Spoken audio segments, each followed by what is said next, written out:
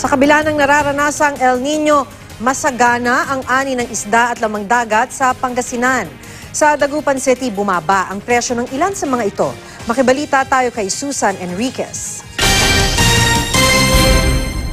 Bumaba ng 10 hanggang 20 pesos kada kilo ang presyo ng mga isda at lamang dagat sa Magsaysay Fish Market sa Dagupan City. Masagana raw ang supply ng isda ngayon. Ayon sa City Agriculture Office, mabilis lumaki ang karamihan sa mga lamang dagat kapag mainit ang panahon. Ang presyo natin medyo medyo bumaba yung malalaki kasi madaming malalaking harvest galing sa ah, galing sa iba't ibang lugar dito sa Pangasinan. Nakaka no? nakakasapat naman ah, sa pangangailangan ng mga biyahero natin. Ang hipo nasa 280 pesos per kilo, 50 pesos per kilo naman ang tahong, naglalaro sa 130 hanggang 160 pesos ang kada kilo ng bangus at ang alimasag nasa 200 pesos per kilo.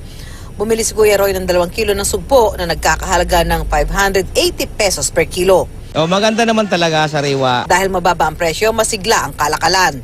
Okay naman po ma'am, mapagbibenta namin dahil wala na yung pan yung mga ditong pangus na Bulacan. O, depende naman pong maraming bisita. Nagdagsa yung mga alimasag. May mga nasa Bulinaw, Alaminos, saka marami ngayon dito. Inaasahan magtataas ang presyo ng mga isda pagsapit ng Semana Santa. Susan Enriquez, GMA News.